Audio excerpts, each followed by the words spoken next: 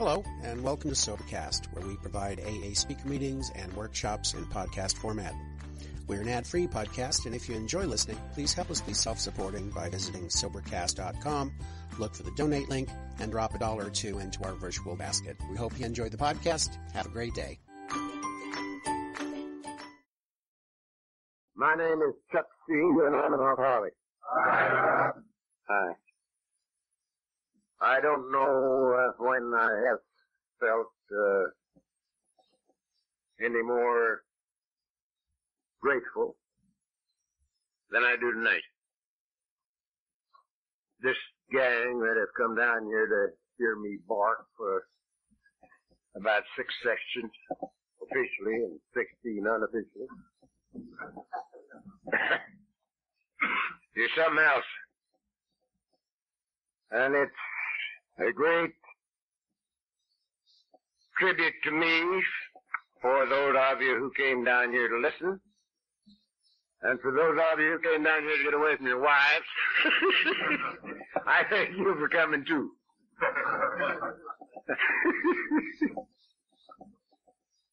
but it's, uh, it's a beautiful sight standing here and looking at you. You're a great bunch. And I love you. This has been an eventful week so far. I had to give a uh, funeral on Monday in Pasadena. Chap who was 51 and who was giving an AA pitch. And right in the middle of it, he went down and didn't get up. Heart attack. And so that was Monday and Tuesday. I had another one. This was one of the original me- members of the Compton group. Came in just after it was started. Old Tex Mullis. And Tex had been sober for 21 years. And uh, he did it sort of the hard way because he was a compulsive gambler too. He loved to gamble. And he won and lost once in a while. The last time I knew him to be in Las Vegas, he won $17,000 on the crap table. Took it up to his wife and said, now you send this home. And she didn't. She put it in the safe in the hotel. And he lost most of it before he got out of the place. So, it wasn't too bad for him because he thought that was a great joke. He blamed his wife entirely because he had told her to send it home. Well, this time he went up again. And, uh, he left with a heart attack. So I'd, uh, put him away on Tuesday. Wednesday I got my 29th birthday cake, which is something for a tongue chewing, babbling idiot drunk. 29 years without a drink of pill. And that was pretty nice. And here to finish the week out, I have you people to share with and to be shared with. And I'm again very grateful to you for coming. I thought tonight we might just uh, think a little about the problem. Get started. This retreat is supposed to be in all of our affairs. The 12 steps says, having had a spiritual awakening. As the result of these steps, meaning first 11, we tried to carry this message to alcoholics and practice these principles in all of our affairs. In all of our affairs. In thinking a little about the problem, I have to think a little about a Texan who uh, was the first chap that sobered up in Houston.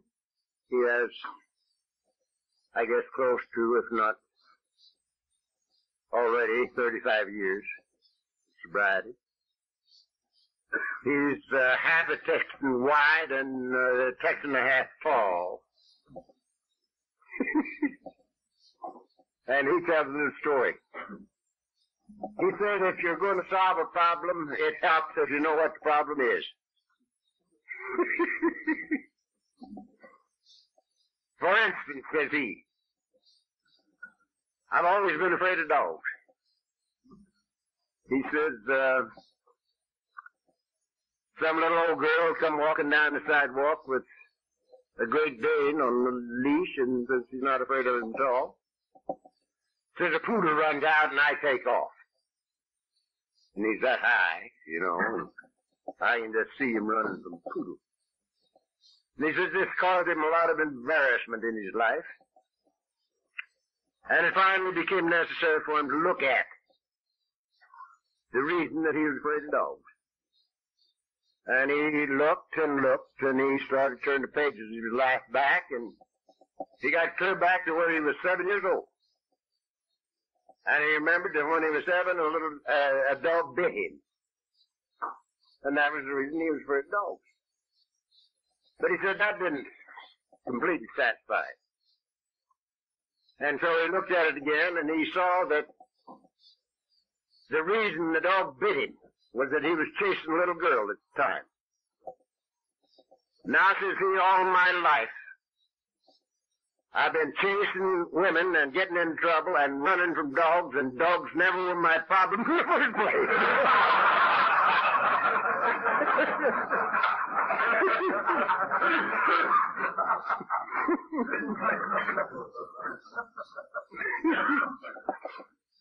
so he says it helps to know the problem. and I think it helps to know the problem. And I'm going to tell you what I think the problem is. And I'm going to tell you what I think the solution is. And there'll be some of you that will not agree with my thinking, and that's perfectly all right. But if I talk, I have to say it as I see it. So, our immediate problem when we came here was booze. Alcohol. That's the thing that ran us in here. It ran me in in a hurry after 25 years.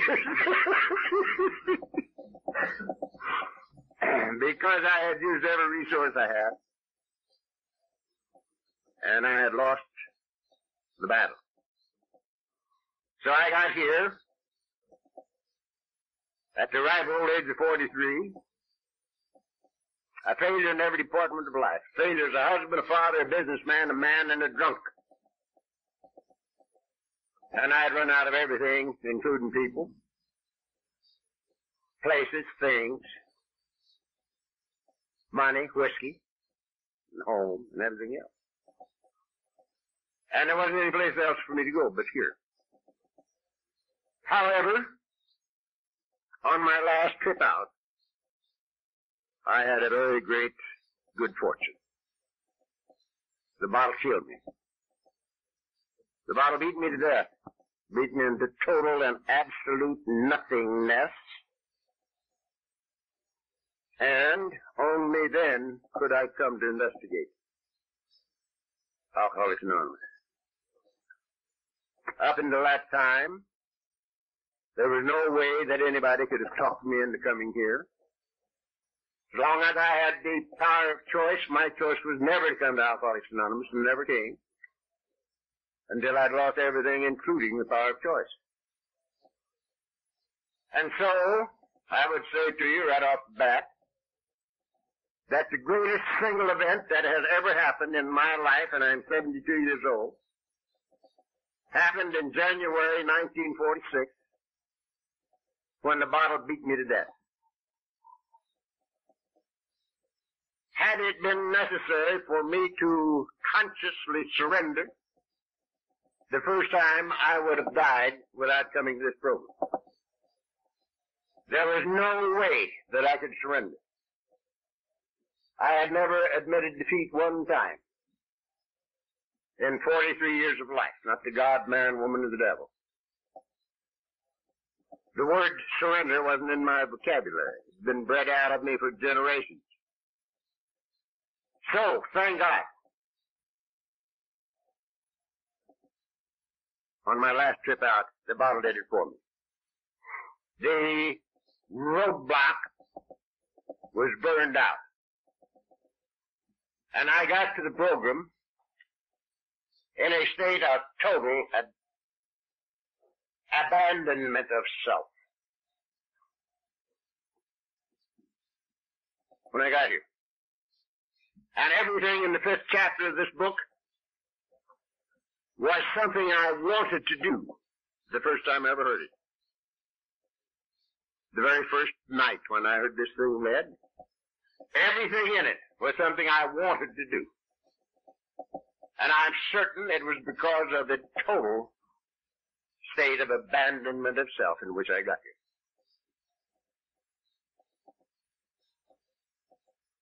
Now, there was one thing that I didn't think I could do. And that was step three. And it wasn't because I didn't want to. I had no objection to step three. I would have turned my will and my life over to a jackass if I could have gotten rid of me.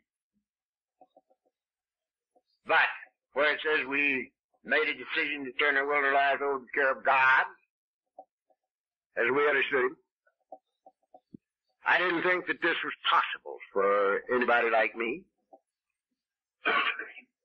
because I did, didn't think it was cricket to believe that I could give the mess that was me to anybody,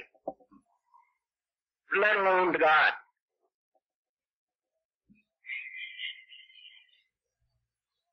I wouldn't have taken me with a large dowry. And I didn't figure God liked me any better than I did. And I hated my guts.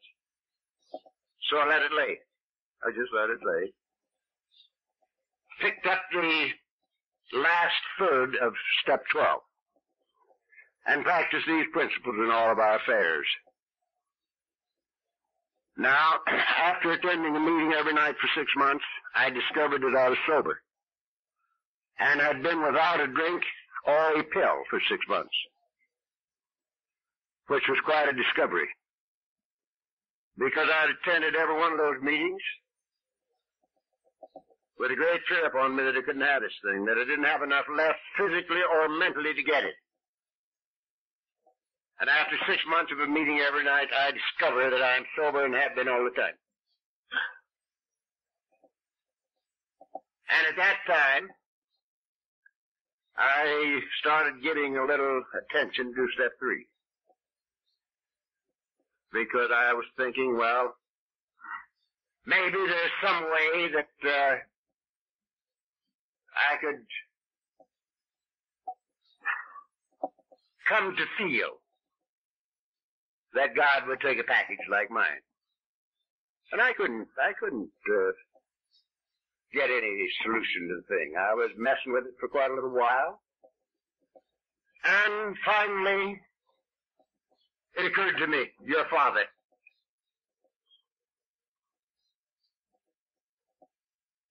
And then I started conjuring up the most heinous crimes I could imagine and laying them on these two boys of mine. And I let my imagination go crazy. Building the worst possible kind of crimes that anybody could perpetrate. And when I got that done, I would say to myself now, would this keep me from wanting to see my boys?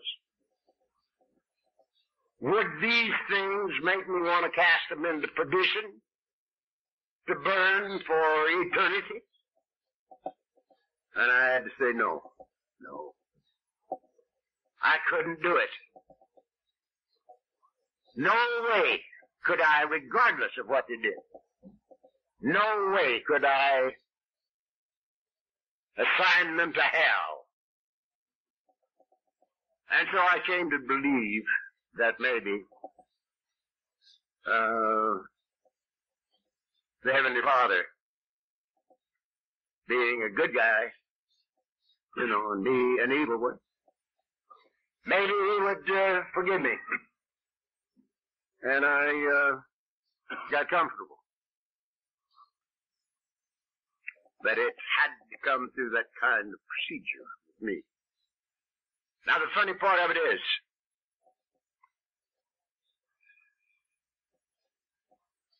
that when I got, when I discovered that I'd been sober for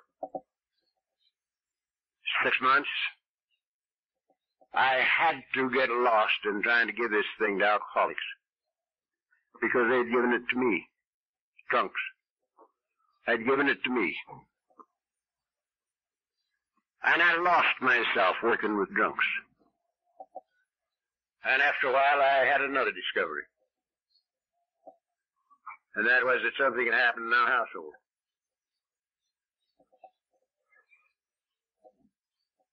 A year before, Mr. C was divorcing me. The kids wouldn't come home when I was around. The boss man was going to throw me through the window if I ever stepped foot in the plant again.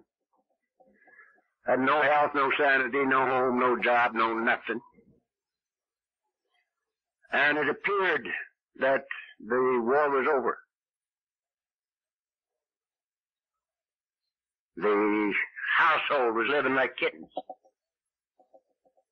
And that was a good discovery. That was about a year after he got here.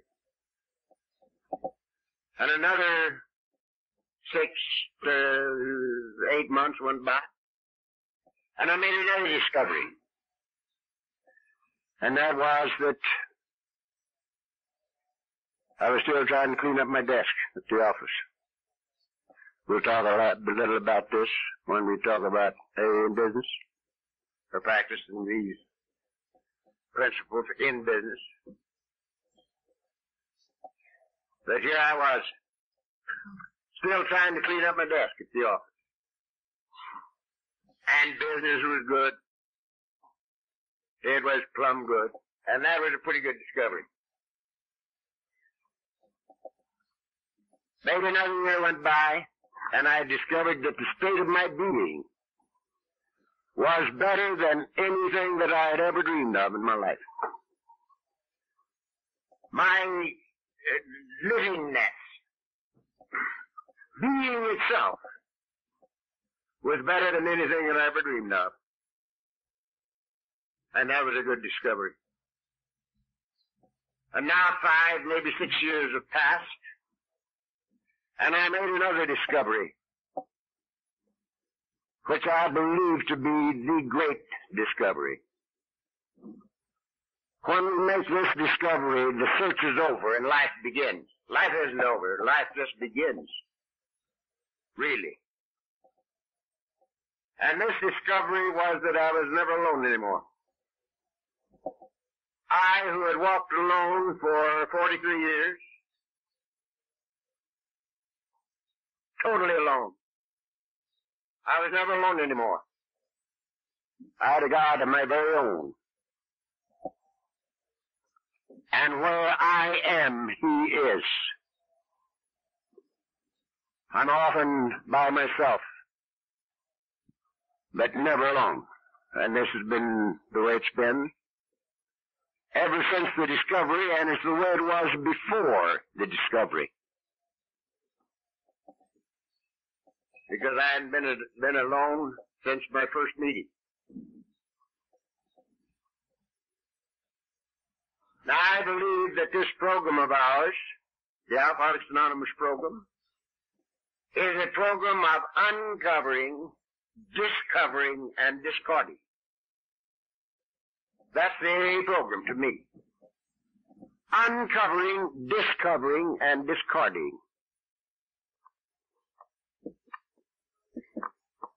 The first nine steps of the program are the uncovering steps. Clearing away the wreckage of the past. squeezing us out of ourselves ego-wise to get rid of the human ego temporarily. Because we never get rid of it totally, in my opinion.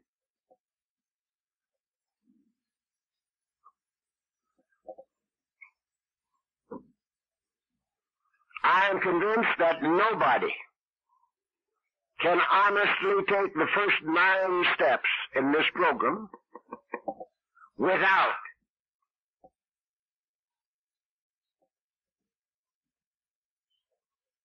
making the discovery that something has happened and it's, it's very, very terrific. Because when we honestly apply the, apply the first nine steps of this program to me, I apply it to me. At number 10, the ego is temporarily gone. Now I am convinced in my own mind, totally and completely convinced from the toenails to the top of my longest hair, that there's only one problem in this life.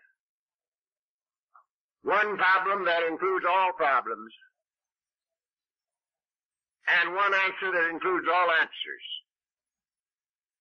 Now that's oversimplification, isn't it?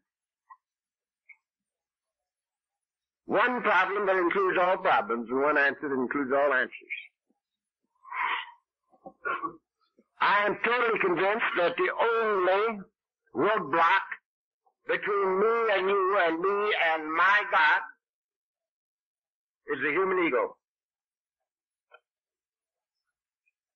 The only roadblock there is.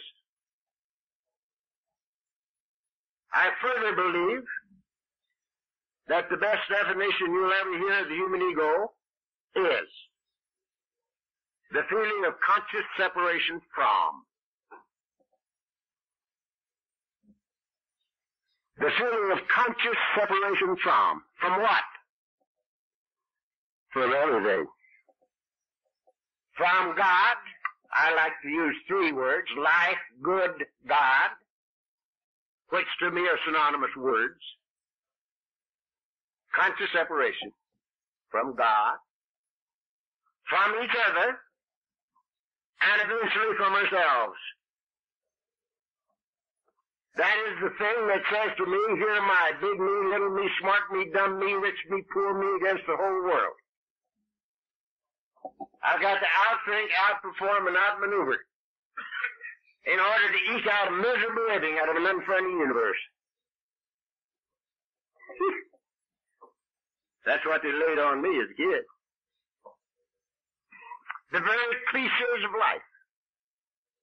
The early bird gets the worm, the devil takes the hindmost, you gotta be there firstest to the mostest. Builds on that premise. Here am I against the whole world. Gotta outthink, outperform, and outmaneuver. Consciously separated from each other and from God. Now I think that's the greatest roadblock there is. The only one, as a matter of fact. The only roadblock there is. Between you and me and my God. And that's the human ego.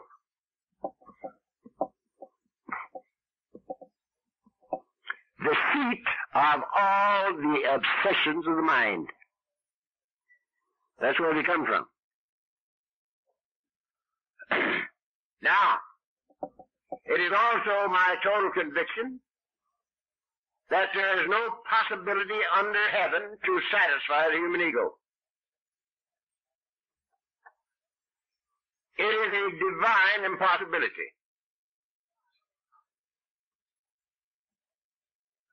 I like to sit up there in my big chair, many of you have seen it. Some of you have sat in it for a minute, but I won't let you sit in it much longer.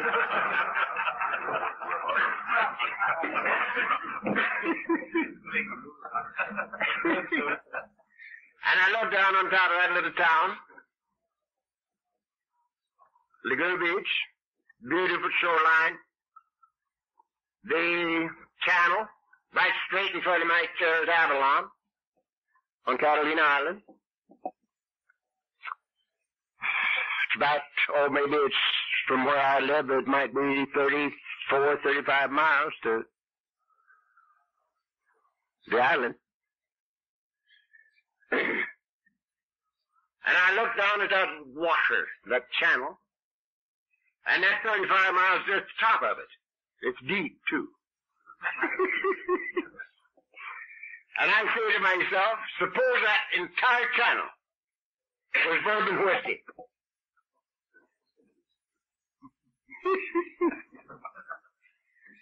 now that's quite a few drinks. Would that satisfy my obsession for whiskey? And I have to say no. The whole damn thing could not satisfy my obsession with drink. Because when I get started drinking, before long I'm flat on my back in bed, drinking the clock around. And every time I open my eyes, I drink. And there's no way to satisfy that obsession. No way. Now suppose my obsession had been for money instead of drinking. How about that? Totally impossible to satisfy an obsession for, for dope. Now I had a client for many years, lived in Phoenix, he was a Syrian. And the Syrians taught the Jews and the Armenians about business. Syrian can starve an Armenian to death.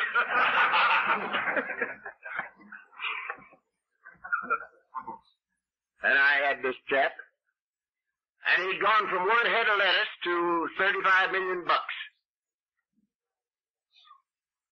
And he was uh, one of the poorest men I ever saw. Because, unfortunately, he had a partner in one of his business enterprises, which happened to be oil. And this old boy was worth 150 million. a suite the Jonathan Club. Most beautiful thing you ever looked at in your life. All paneled with the finest wood in the world. Gun racks, elephant tusks all over it, and feet, and gazelles, and everything else, you know. And when I'd be sitting there with two of them, Eddie was trying to get under the Davenport. One thing, he had only 35 million. This year was on steel with 150 million. Poor man. Eddie used to say to me, Charlie, I was Charlie in business. How can I be like you? And I'd say, Eddie, you can't. And he'd say, why? I say, who needs God if he's got 35 million bucks? Don't be silly. You can buy anything you want, including women, and you do. And that's one of the Syrians' great uh, illusions. They think they're God's just a woman, and maybe they are. I don't know. Not being a woman. But anyhow, who needs God when he got 35 million bucks? And I said, you go ahead and make 150 million, and you will if you live. Because everything that old boy touched turned to gold. And when you've made 150 million, you will have then found that it won't do for you what you have to have done right here. Then you come to me and says, Charlie, how can I be like you? And I'll tell you, and you can do it, but not until. And he'd say, well, talk to me about it anyway. And we'd drive all over the state of Arizona, talking just like we'd be talking here, you know. But poor Eddie didn't make his 150. He got so many things in his head that it exploded. He was 10 years younger than I. And he's been gone, what, five, six years? He died. It's impossible to satisfy an obsession for money. Suppose my obsession had have been for power. How about that? No possibility. Witness Watergate. There was a nice power struggle. You know? It's absolutely impossible to satisfy an obsession for power. If you were president of the United States, no good, because every dictator in the world has more power than our president. Oh, Genghis Khan had more than all of them. so, no way. What about women? Started to say sex, but that brings up a bad connotation.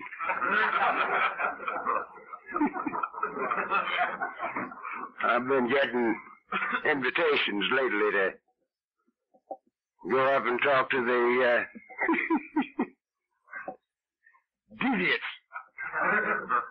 and God bless me, I can't hardly make it. I've, so, so far, I've been able to, to sort of have some other thing to do or get something else to do.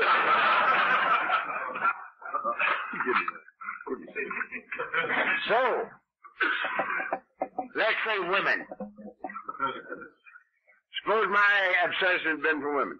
And supposing, thank you, that I had been the greatest Lothario of all times. And supposing I had captured every trick chick I set out to catch, but one. Not my age, pretty good army, don't you? Would they satisfy my obsession for women? Uh-uh. This one kills me. The one I can't get kills me dead. So, if you can't beat him, join him. We gotta get rid of the obsessions of the mind. And in order to get rid of the obsessions of the mind, we have to be rid of the ego. Because that's where they come from. I want, I don't want, I like, I don't like, I yeah, yeah, yeah, yeah.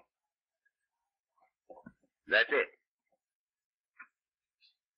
Now, that's the reason that the wording in this book is like it is. There are 452 pictures in the first page and two paragraphs in our chapter 5. Boy, there's a lot of things said in that dealing.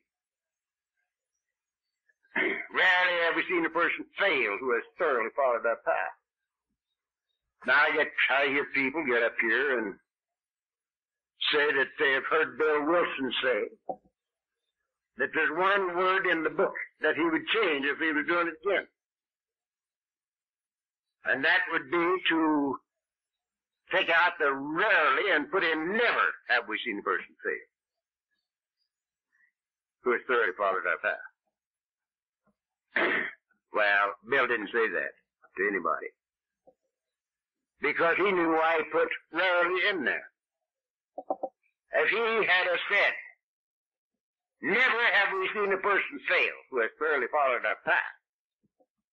I see uh, about four people at the front table looking right at me that would have said, oh, they've never seen a failure, or by God, I'll kill one. yeah. That's the reason that's rarely.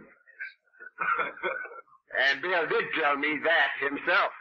I happen to know him pretty good. Rarely have we seen a person fail who has thoroughly followed our path.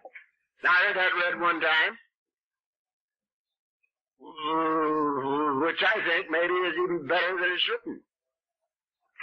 Some guy got up here and he read it. Rarely have we seen a person fail who has thoroughly enjoyed our path. I think that's terrific. I put in the thanks in that page, you know. It's very good.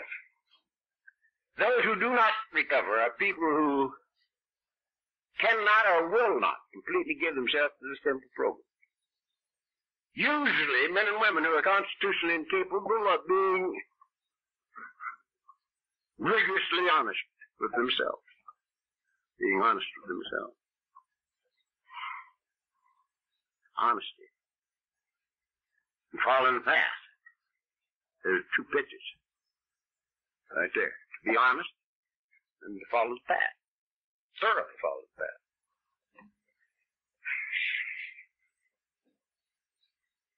They're naturally incapable of, develop, uh, grasping and developing a manner of living which demands rigorous honesty. Now there's a pitch. Grasping and developing.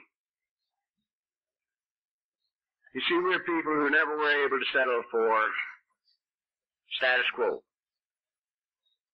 Never in our lives, long before we ever had a drink, we were unable to settle for status quo.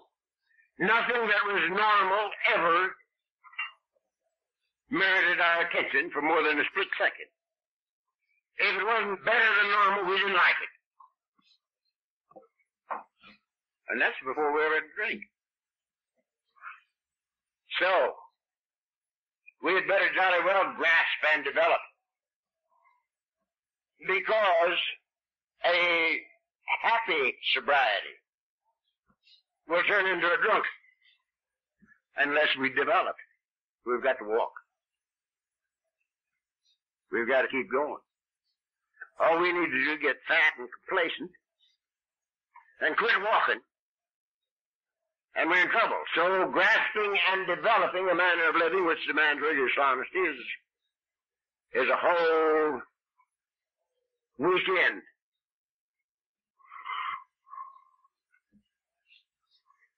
There are such unfortunates, they're not at fault, they seem to have been born that way. That's a line that I'd get the hell out of there. I don't like that line, because in 29 years, I have had, I don't know, probably 500 people tell me that they're sure that they're naturally incapable of being honest with themselves, naturally incapable of it.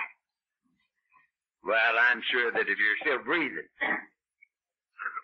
there's, uh, and you don't have a two or three of those wheels missing entirely. There's no way that you can hide behind that, but it's it's sort of a thing that we use once in a while. Their chances are less than average. Those two who suffer from grave emotional and mental disorders. But many of them do recover if they have the capacity to be honest.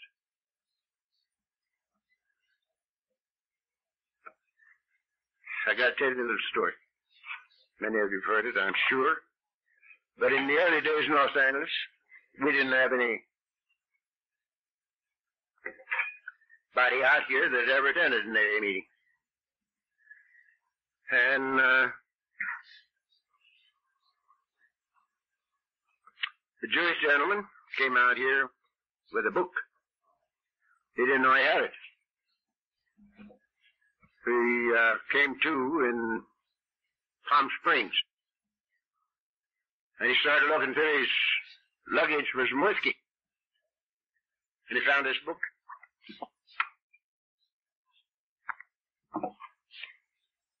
That's first edition, that Redmond. And he didn't know how it got into his suitcase. But he didn't have any whiskey. And so he read it. And he just kept reading it, and he uh, liked it. He liked what he read. And he came into Los Angeles with this book. And he got a hold of some people, and they started meeting. And uh, they didn't know how to start a meeting. And so the custom that has spread pretty well all over the world was established right here in Los Angeles. First meeting. That's reading in portion chapter 5.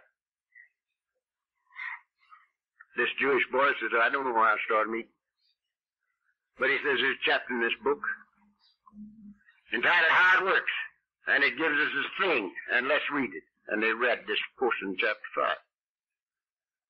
And you'd be surprised how much of the world that's covered up until now. They do it in Australia, they do it in New Zealand, they do it in Canada, they do it in Texas.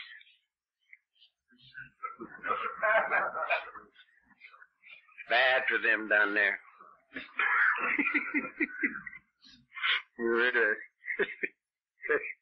a uh, conference in uh, Oklahoma City. And there's a lot of Texans up there, you know. One of these Texans says, uh, Oklahoma is just an outlying portion of Texas. He says, outlying hell, he says, you're the worst liars in the world. so, they read this all over, and it's beautiful. Every time I read it, it reminds me that my survival depends on this thing right here. Now, a little bit later, this bunch, maybe there are half a dozen of them at this time, got a hold of an old boy off Skid Row. His name was Whitey. And Whitey had been a little bit too close and too long with the vino. And he babbled all through the meeting. He'd just sit there and babble. And he was bothering. So they decided ought to take him to the doctor and see what was matter with him. So they did. They took Whitey to the doctor, and this doctor took a few quick passes at him, and he says, boys, give him up. This one you can't help. Spend your time on somebody that's got a chance.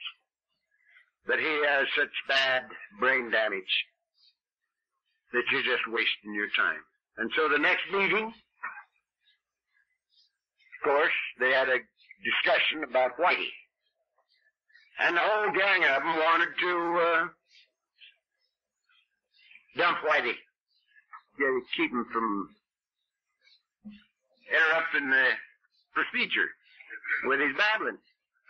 And of course, there was one guy there that uh, read something in the book. And he said, wait a minute, boys. He says, it says right here that the only requirement for sobriety is a desire to stop drinking. And Whitey wants to get sober. And we can kick him out. And they said, that's right. That's what it said. And he didn't kick Whitey out. And it's a matter of medical record and a record that one year later, Whitey was accepted in the United States Marines. There's a miracle here.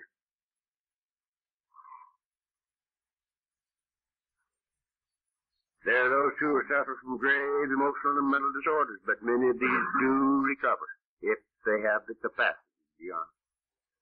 Our story discloses in a general way what we used to be like, what happened, and what we're like now. If you have decided you want what we have and are willing to go to any length to get it, any length to get it, then you're ready to take certain steps. Why are those phrases in there? Why do we go clear back here in the first first line of the second paragraph, chapter three, and we read a line that says, "We learned that we had to fully concede to our innermost selves that we were alcoholic." This is the first step in recovery. Why? Why is that clear back here? First line of the second paragraph, chapter three. Program of recovery is over here in five. It's there because if we be alcoholic, we are caught in a trap we cannot spring.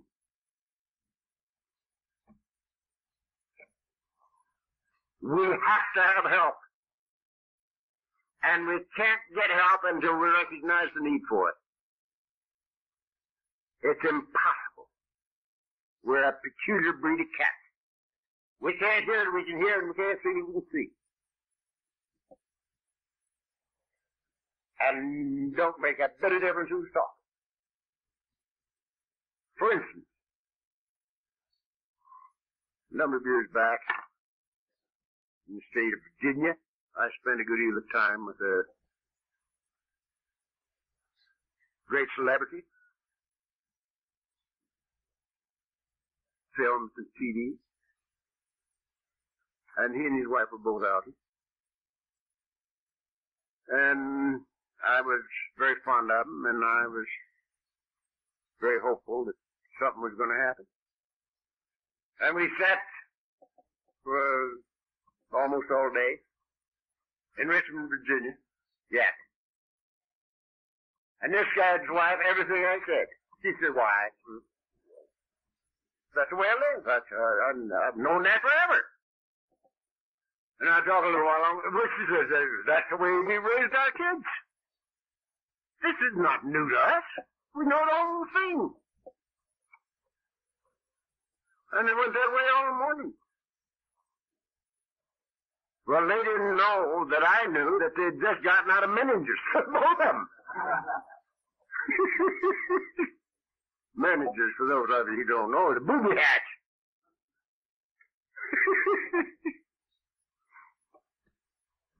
that we knew this all backwards and forwards and through the middle. But they never heard it. And they didn't hear it when I said it either.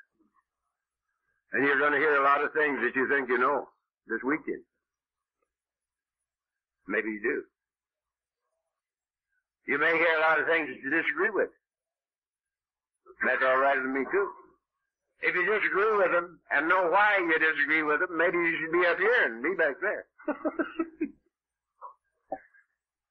but that's the way it's that's the way it's going to be.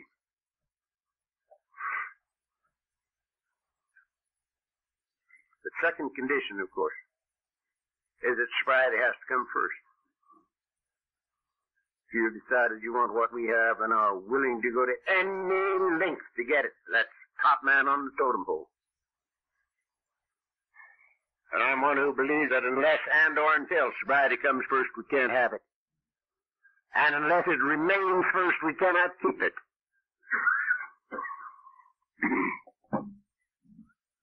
That's what it says here. This is very, very positive stuff. And are willing to go to any length to get us in your ready fix certain. Some of these we balked. We thought we could find an easier, softer way, but we could not. With all the earnestness at our command, we beg of you to be fearless and thorough from the very start. This isn't a headache we're talking about. We're talking about a terminal illness. The disease of alcoholism. It's terminal illness. That's why these Because we have to have help. We got to recognize the need for it before we can get it, and it's got to be tops. Top man on the totem pole.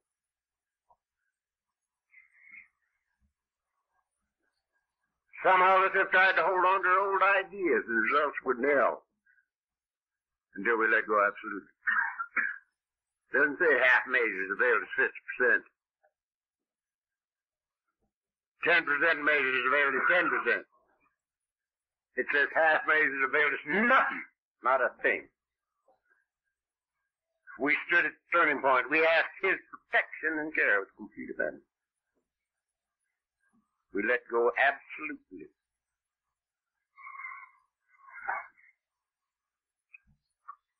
Stood up here without help is too much for us.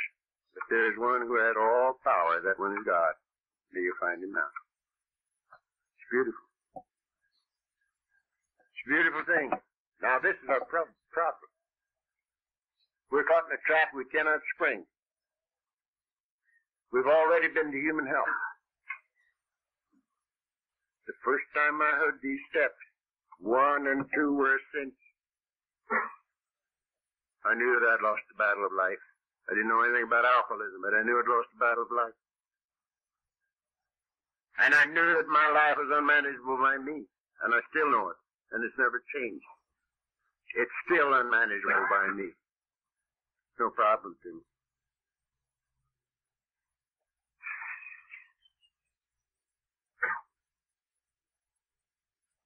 Twofold admission of defeat in the first one. An admission that we're nuts in the second. Now there are two big steps for an alky. The first two. Lost the battle of life, number one. You're nuts, number two. so you need help, and you need it bad. And if you're like me, you've been the preacher, the priest, the doctor, the guy that knows more psychiatry than there is before you ever got to this place. To step three. And so you know you need help. and you can't get it from human power. So we make a decision, turn the world and allow those fear of God. Now this is one of the things that we're going to be spending time on. This is the most fantastic thing on the face of the earth.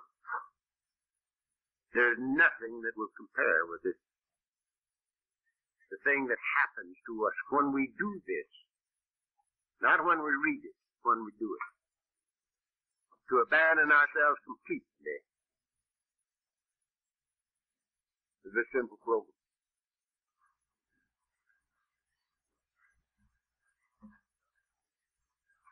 Throw them out.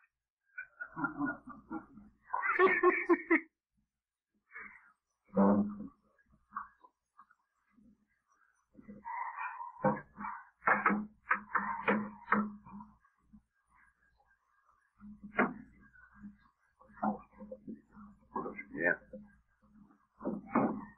hmm Welcome, gentlemen.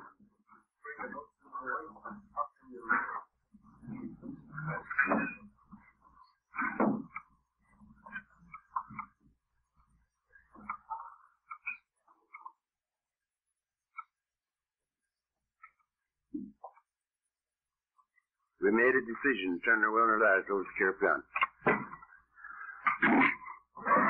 now, I don't suppose that there's a man in this room that analyzed himself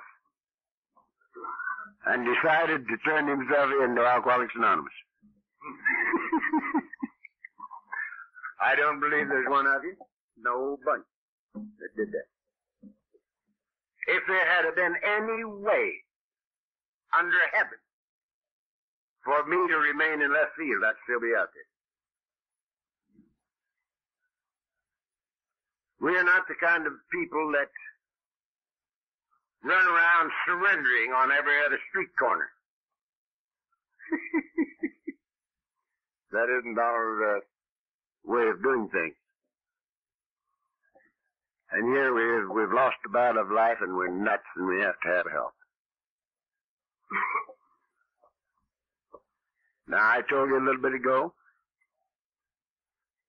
that the greatest single event in my life up until now, and I'm 72 years old, was when the bottle killed me in January 41.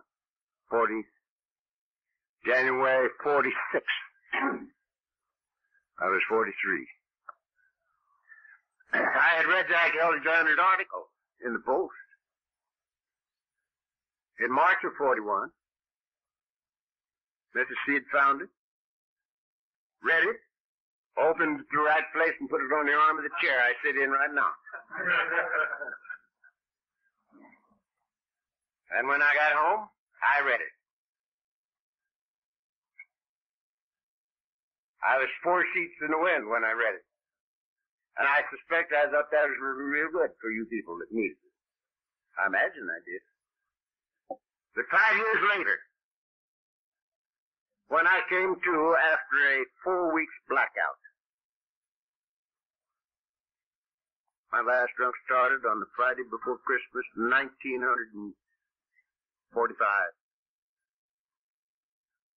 And I came to sometime after the middle of January 46.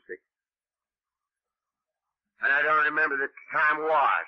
But the calendar said it had been. And during that four weeks, the thing that had stopped me was burned out. And I accepted the fact that everything dear to me in life was gone and should be gone and that I was not entitled to have it back. That was including my wife and my kids and my home and my job and my health and my sanity and my money. It was all gone. And I wasn't entitled to have it back. I knew I was going to die because I'd come within an eighth of it, the next to the last time out. I'd fallen over on my face the floor in the kitchen, turned blue, and they'd had to get the oxygen squad to wake me up.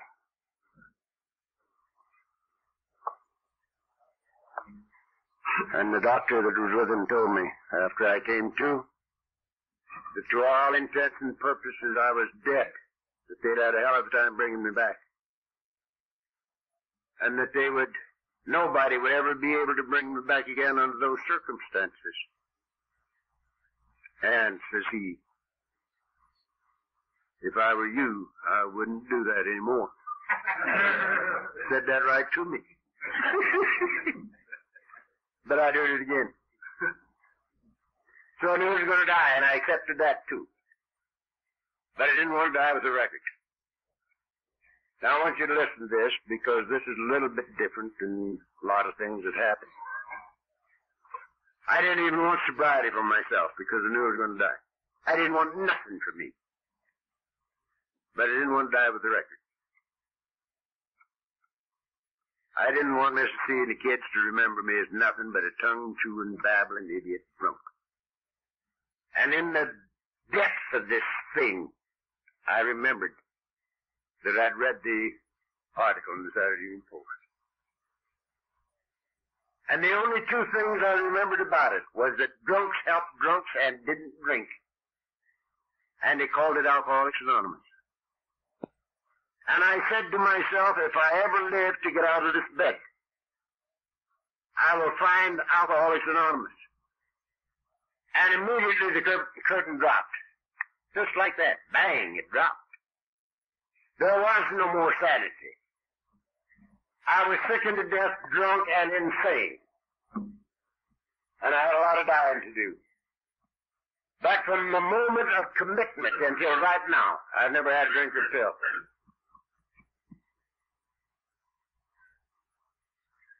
Now this is one of the reasons that I believe so completely and totally that there's only one roadblock between me and you and me and God. And that's the human ego.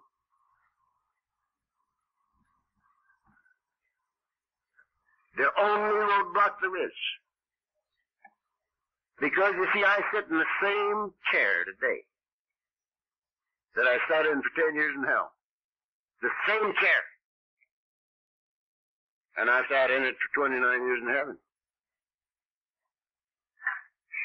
Nothing happened to the chair. Nothing happened to my wife. Nothing happened to the kids. Something happened to me. And it proves that heaven was always in that chair. I was in hell. But heaven was always in that chair. But nothing happened to the chair, and I'm still in it. Still in heaven. So, that's the reason these, these statements are so very, very positive. To abandon ourselves completely. To let go absolutely, it says. And to turn our will and lives over to the care of God.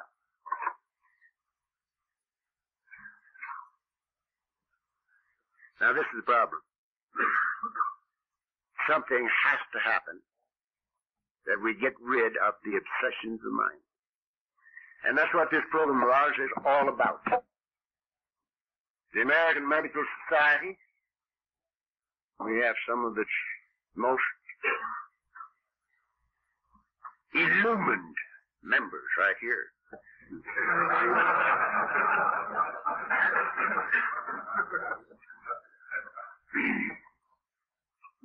American Medical Society says alcoholism is a disease. It has symptoms. It is treatable but not curable.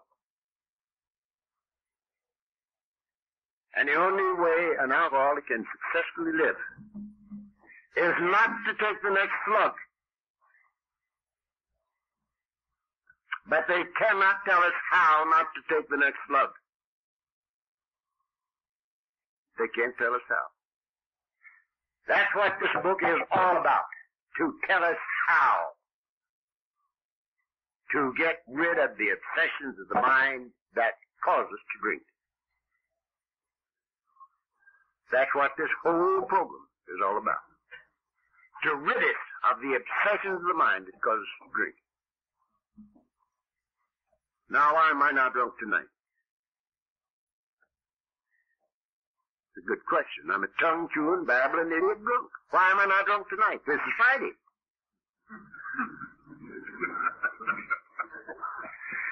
Thursday night's kickoff night, right?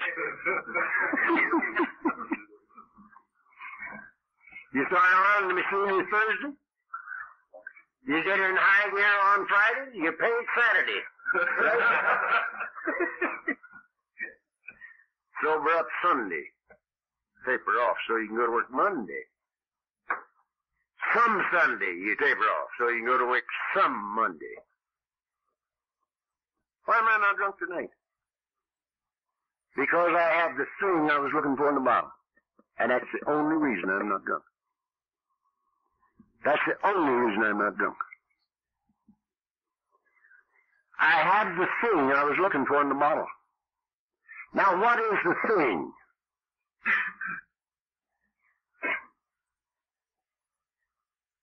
That king size hurt is gone.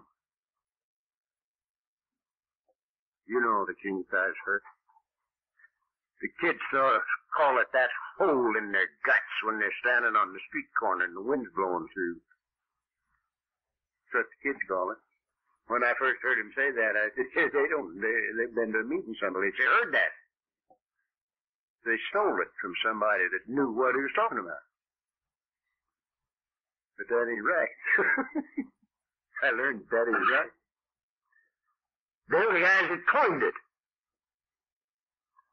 Standing on the street corner with a big hole in their guts and the wind blowing through. Big hurt. That's gone. I'm not fighting me or you or life or God or the devil. I am at peace with me and with you and with my very own God. And that's the only reason I'm not drunk. When I say I am an alcoholic, it means this. That I cannot live and drink. And of myself, I cannot keep from drinking. And that's just as true right now as it was 30 years ago.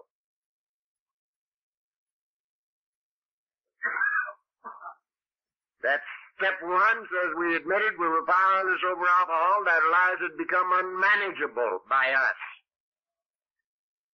And I've looked all the way through this and through the manuscript from which this was written and through, through the most recent book that was printed.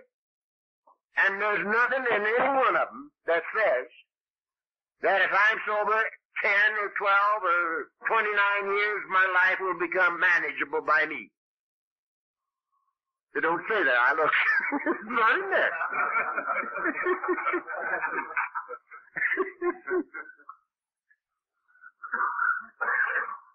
and furthermore, there's nothing in my experience in 29 years that would indicate that my life will ever be manageable by me. Again. But thank God it is no problem to me. Because I have step 11. I have lived by step 11 for 29 years. Sought through prayer and meditation to improve our conscious contact with God as we understood Him. Praying only for knowledge of His will for us and power to carry it out. I have lived in total expectancy of guidance and direction for 29 years. And I get it. And you might say, how do you know? I've got the simplest rule in the world. I never had it so good. Is the only good life I've ever known, the only easy life that's ever been mine in my entire lifetime. And I've got 29 years to look over sober without a drink or pill. 25 years drunk or drinking. And 19 years before that. And this is the only good life I've ever known, the only easy life that's ever been mine. So I highly recommend it. This is the way to get rid of the obsessions of the mind. Sure, the steps we took, we're sober. Now, don't say here the steps we read or heard read or learned by heart. Don't say that.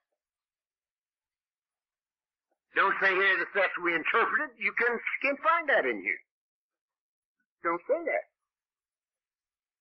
Don't say here the steps we conned God into taking for us. There have been a few people around this neck of the woods that uh, were experts on interpreting the text. There's one guy out in the valley there for a while. There was selling interpretations of the text and teaching interpretations of the text. And then he got drunk. His business went down the rat hole. Don't say that. It says here the steps we took. And the reason we have to take them is because we're caught in a trap we can't spring. We have to have help and can't get help until we recognize the need for it. Now, going on down through to step nine, and I've just got time, uh, Mr. I won't mention his name, but his initials are Johnny Crean, Senior. He said he was sleepy when he came in, and if I talked a second after 9.30, that he was going to sleep right on the table there and start snoring. So I got to quit. but very quickly, the first three steps are decision. The fourth and fifth are action steps. We made a searching, fearless moral inventory of ourselves. We write it. The book says very, very specifically that it's good to write. Write the thing down. We're more apt to do it right if we write it. Takes a little longer. It's good for us. So we write it. That's a moral inventory. So we don't have to write every time we turn left when we should, should have turned right. It don't mean that we have to put down everything we ever stole. Or every lie we ever told or every time we ever got drunk. they don't, that does not what it means. It means to write down enough that we can see the motivation for what we have done up until now the motivating force in our lives. And of course, if we want to get real simple, the whole thing will boil down to obsessions of the mind, which is the ego. Every one of them will boil down to trying to satisfy the human ego, which cannot be done. So we write it down and then we share it shared with God, ourselves, and another human being. Another human being is the uh, thing that really uh, sets us up for the kill. I can admit to God and to myself hidden the privy. You know. Nobody knows but me and God. But if I have to spread this dirty linen out before another human being, Man, if you got any ego left after that, you ain't done it. An ego buster. And so we've written it and shared it, and now we've become willing to give it away, and we give it away. Again, we got two action steps in there. These, these, these next two are not action steps. They're again decisions. Now I find people all over the world beating their brains out trying to get rid of the obsessions of mind. Their defects of character. I bet you there have been a million hours spent in arguing over why step six has,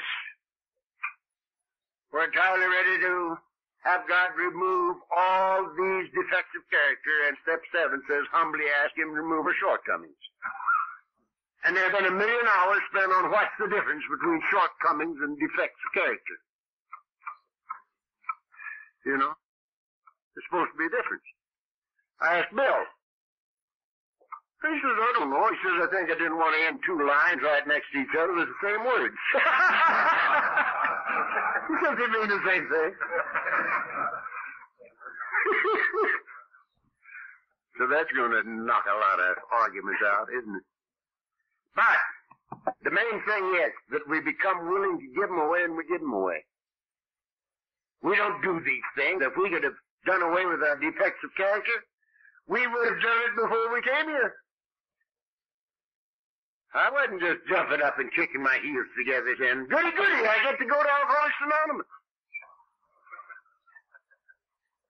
I'm sure my mother didn't raise me to be a member of Alcoholics Anonymous. She's 96 and she don't believe it yet.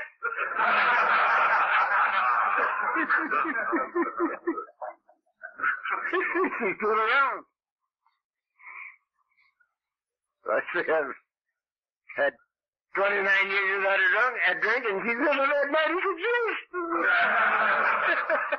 What's so hot about that? so, we become willing to give them away, and we give them away. And then we've got two more in the first ten.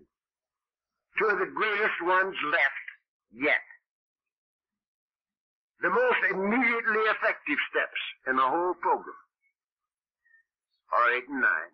We made a list of all persons we had harmed and became willing to make amends to them all. Made direct amends to such people wherever possible. Except one to do so would injure them or others. If you haven't done that, do it. Do it, do it, do it, quick. The weight of the world is removed from your shoulders when you honestly take care of eight and nine. And I'm going to tell you this little story, and uh, it won't take that long. I'll still get down. One time, many of you have heard it, but it it curls my hair yet. About ten years ago, I got a call on a Friday night, just like this, from a guy in Whittier. And he says, Chuck, I'm sitting here with six gun in my lap, and I'm going to blow my brains out. But he says, Jim, says, don't shoot yourself until you've talked to Chuck, Chuck C. And he gave me your number. And I'm called and I'm ready to talk. So what do you got to say? and I says, you called on a bad night. I said, I'm talking tonight, tomorrow night, and Sunday night, but Monday night's open. So if you want to see me come down Monday night, and if you don't, blow your brains out. And that's exactly what I told him. And at 7.30 Monday evening, the doorbell rang. And in came my boy.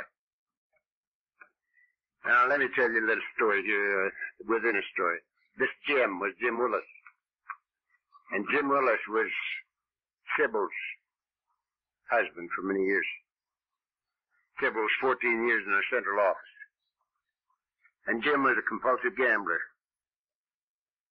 And Jim started the Gamblers Anonymous thing and wrote their book.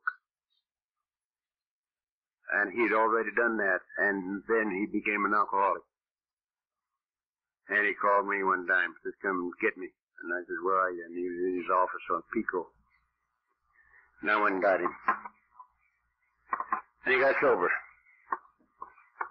Now Jim is losing his eyesight. He's sure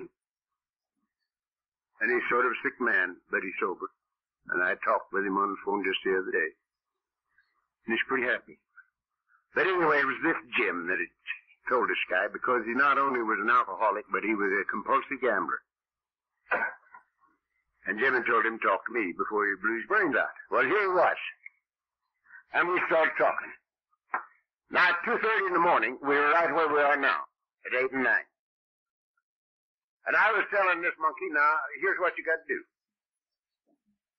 See, he lost a lot of money that he didn't have. And he had lost it to professional gamblers. And that ain't a very healthy situation. It don't, it don't do much for longevity. So here he sits, and I'm saying, now listen, here's what you got to do. And you got to go to these people and say, look, I am not the big shot I would have had you believe. I'm an alcoholic. And I found a way to live, to live that might let me live one day at a time without a drink for the rest of my life. And one of its conditions is we got to make amends, and that's why I'm here. Now, see, I admit the debt. I said that I was gonna, you know, this is what he had to do. You go to him and say to him, I admit the debt. I'll give you the money. And I'll pay you as soon as I can. But I ain't got no money now. Why, says Chuck, you can't do that. They'll kill me. And I said, so what? You won't have suicide on your mind?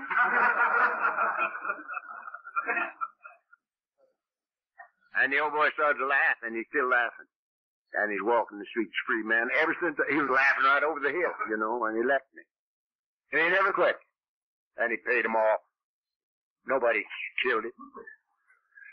So one of these things. So if you haven't done eight and nine, do them. The weight of the world goes right off your back when you do them. Now, finish up.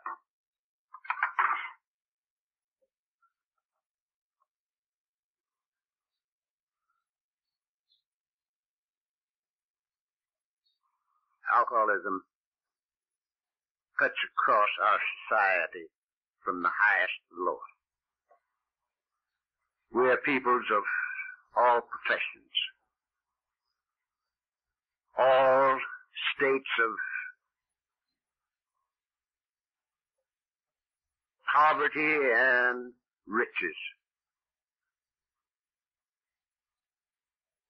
Priests and preachers from all denominations we have in this deal. We have world scholars amongst us. Bankers.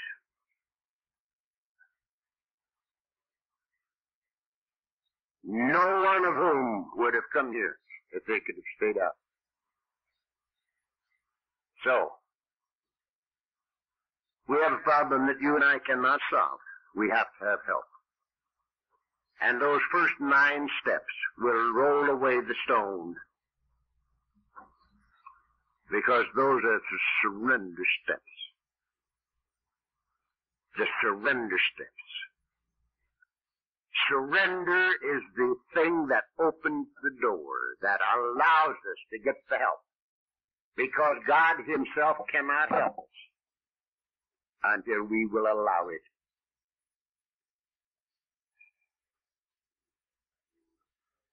The recognition of the need for help and the turning of our will and our lives over to the care of God, and the clearing away of the wreckage of the past is the beginning of victory. Fantastic. Don't be afraid of it. Now I'm convinced that you and I have to do this without getting too serious about it. We get too serious and nothing happens. If we look too hard, we'll never find. I looked for this thing for 30 years before I got here. And I couldn't find it. I came here not looking for it, and it found me, or we found each other, or something. Wasn't even looking for anything but a way to live one day at a time without drinking. So I could rub out as much of the records as I could. So I want us to have a lot of fun this weekend. Don't be too serious. You know Rule 62.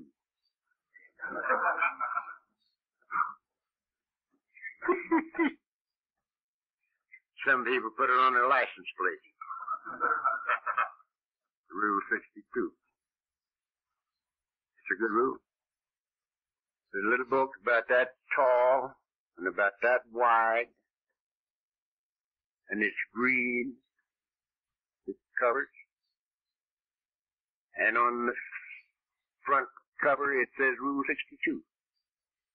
And you open it up, and you look, and every page in the book is vacant, except the double truck in the middle. And it says, don't take yourself so goddamn seriously. and that's what we want to do here this weekend. Have a lot of fun, not get too serious, but realize the problem that we have that we cannot handle on our own. And to come to see totally before this weekend is over that what I can't do, we can do. With the grace of God. God bless you. Thank you very much.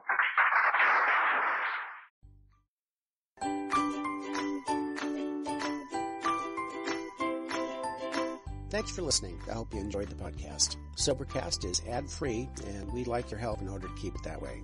So if you'd like to help us be self supporting by pledging a dollar to a month, visit Sobercast.com and look for the donate links. Thank you very much.